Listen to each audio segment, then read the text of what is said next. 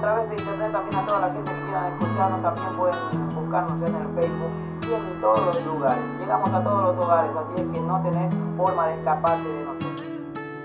Bien, ya comenzamos la mañana aquí en De Todo Un Poco, la 91.7, la radio de tus éxitos.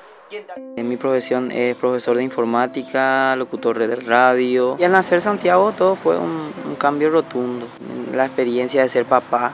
No sé, yo le quería dar lo mejor a él, quería dar cariño, le quería dar todo lo que, lo que él necesitaba.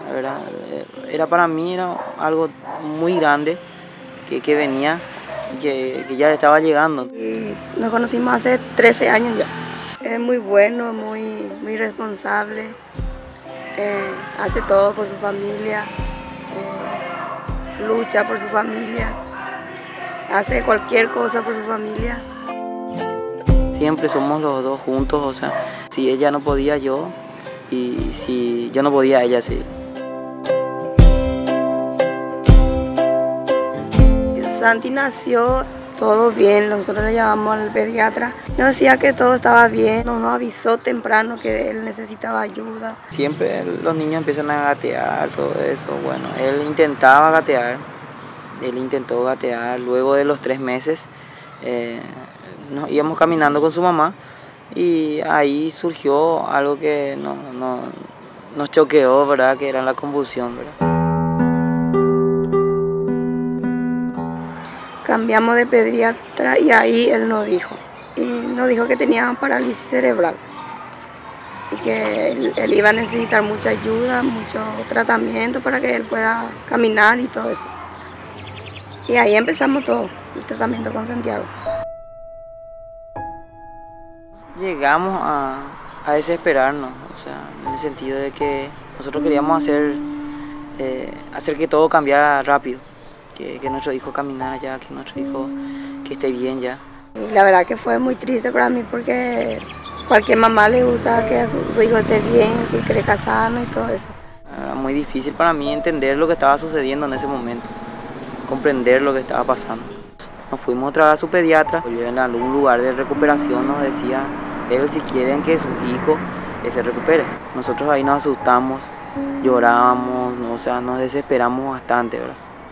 porque no, no nos esperaban, era, era algo muy fuerte que nos diga un profesional así de esa manera, ¿verdad? Y nosotros en ese momento los dos jóvenes, ¿verdad? Nos dejó bastante choqueados también. Pero antes te comunico lo siguiente, recordad que nosotros tenemos de lunes a viernes, tenemos una inmensa variedad de cosas. Los lunes... Nosotros comenzamos a tocar puertas, ¿verdad? Ahí le dije yo a mi señora, voy a ir a llevar la Teletón. En aquel momento 2005, 2006, no, no me recuerdo bien el año.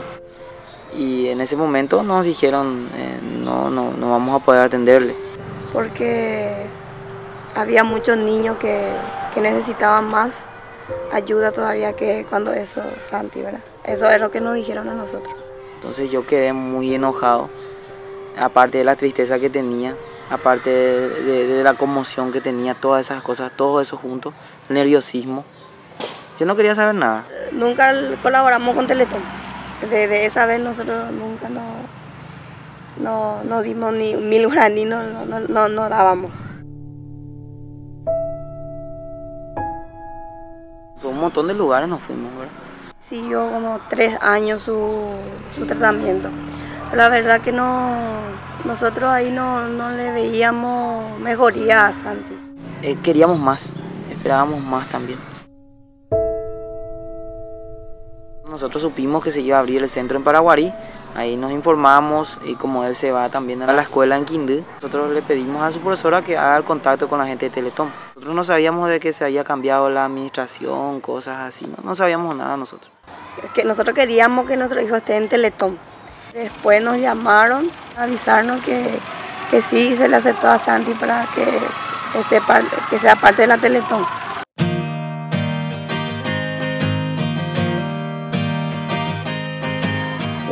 La verdad que nos quedamos sorprendidos porque eh, eso era lo que nosotros queríamos antes ya.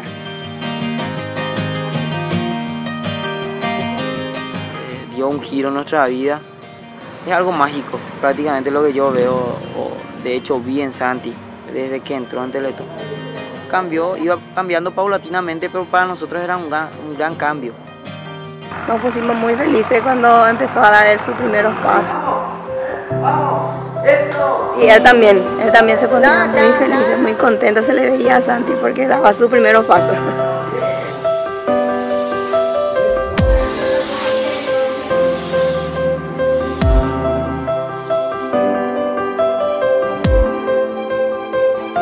Fue un cambio bastante integral eh, lo que se vio en él.